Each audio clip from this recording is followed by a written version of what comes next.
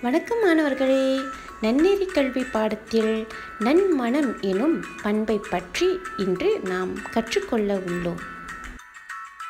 நன்மனம் என்றால் என்ன மாணவர்களே? நன்மனம் என்றால் நல்ல உள்ளம் படைத்தவர்கள். தன்னலம் பிறர் நலம் ஆகியவற்றை உணர்ந்து தேவையான உதவியையும் ஆதரவையும் வழங்குபவர்களை நன்மனம் படைத்தவர்கள் என்று நாம் கூறலாம். நன்மனம் படைத்தவர்கள் எந்த சூழ்நிலைகளிலும் பிறருக்கு உதவும் மனப்பான்மையை கடைபிடிப்பர் மாணவர்களே நீங்கள் யாருக்கெல்லாம் உதவி செய்யலாம்? இந்த படத்தில் காட்டும் சூழ்நிலைகளை பாருங்கள் மாணவர்களே. இது ஒரு வகுப்பறை. மாணவர்கள் ஆசிரியருக்கு புத்தகத்தை எடுப்பதற்கு உதவி செய்து கொண்டிருக்கின்றார்கள். இது போன்று நீங்களும் ஆசிரியருக்கு உதவி செய்ததுண்டா மாணவர்களே? ஆம் மாணவர்களே பள்ளிக்கூடத்தில் நீங்கள் ஆசிரியருக்கு பல வகையில் உதவி செய்யலாம். அடுத்த சூழ்நிலைகளை பாருங்கள் மாணவர்களே.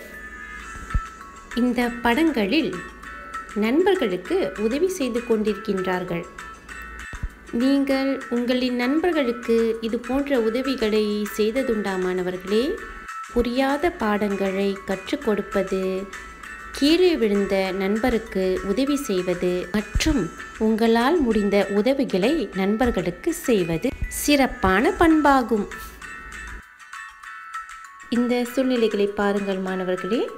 வீட்டில் பெற்றோர்களுக்கு இது போன்ற உதவிகளை நீங்கள் செய்ததுண்டா? குடும்ப உறுப்பினர்களுக்கு உதவி செய்வது நன்மனம் கொண்ட பண்பாகும். இந்த சூழ்நிலைகளை பாருங்கள் மாணவர்களே. முதல் படத்தில் ஊனமுற்றோருக்கு தர்மம் செய்கிறார்கள். மற்றொரு படத்தில் முதியோருக்கு நடப்பதற்கு உதவி செய்கிறார்கள். இது போன்று பிறவர்களை நன்மனம் படைத்தவர்கள் என்று கூறலாம். இறுதியாக கேள்வி நேரம். நல்ல நடத்தைக்கு சரி என்றும் கூடா நடத்தைக்கு பிழை என்றும் குறியிடுக மாணவர்களே.